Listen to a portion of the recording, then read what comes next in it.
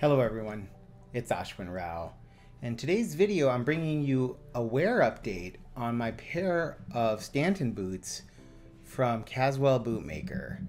For those of you who haven't seen, I have a number of videos that includes an introduction, unboxing, and feature of this boot. Now I wanted to come back to this boot a few months later to show you what it looks like after a bit of wear. So here we go. This is a beautiful makeup made from a washed kangaroo hide from the Merriam Tannery. It doesn't really crease. You can see that it forms these beautiful rolls right here, here, here, and here, almost akin to shell cordovan, but the material is a lot softer and thinner, um, more comfortable, more readily breaking in, and just easy to patina as well. And that was something that I was very impressed with right off the bat, is that this pair forms beautiful rolls. And so if you're looking for a boot that has striking looks with this contrast stitching on the upper that lines both the back heel counter, the side paneling, the facing, and this mock toe, which is a faux mock toe. You can see how beautifully that stitching stands out over time and now is complemented by the patina and aging formed by the rolls.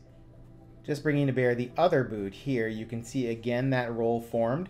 I will say that the first of these rolls appears to be created in the interface between the uh, structured toe um, and the toe stiffener here and the rest of the vamp, but it's not unsightly. You can really see that there is a little stiffener right here, but overall very nice. You can see that there is a slight bit of fading of the pigment that was used to essentially uh, dye this leather, um, but it does form these beautiful almost areas of fading I think are really, really pretty uh, along with the rolls. So I'm a really big fan of the way that this particular boot is clicked, what it looks like when it rolls and fades and ages, um, and how the contrast stitching interplays with all of this design. So I have to give credit to Kevin Wilson to really come together to think about an idea such as this boot that seems to have been executed exceptionally well. So this is probably about four to five months of consistent wear, probably once, occasionally twice per week. You can see that I do have some heel drag here, and the Vibram Londra sole otherwise has held up pretty well.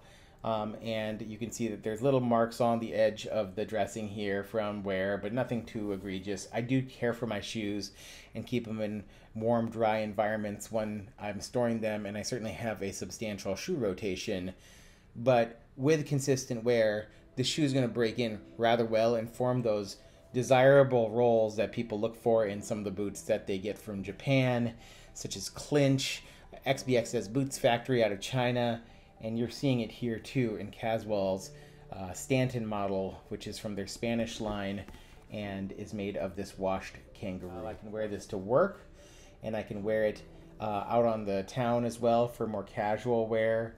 The speed hooks uh, do hold up quite well. I will say that I had one of my speed hooks uh, deform a little bit in terms of collapsing down against the leather. Made it a little bit hard to, to lace up for a while, but then I was able to essentially use a, a little pin to kind of pry it free and back, open it back up. Not a huge deal. At a price point around $350, you really can't go wrong. The stitching is impeccable the outsole construction is fantastic. The comfort is really wonderful. And as you can see, the shoe's leather is aging very gracefully and well and with character that is appealing, not something that comes off as unsightly or old, so to speak. So go look at Caswell Bootmaker, take another look, tell me what you think. And uh, I'm a huge fan of the brand and look forward to securing more pairs. Um, drop in my wallet in the near future to pick up one of their Indonesian makeups in their hand welted line, hopefully sometime in 2024. So hope you're doing well. Take care and have a good one. Bye bye.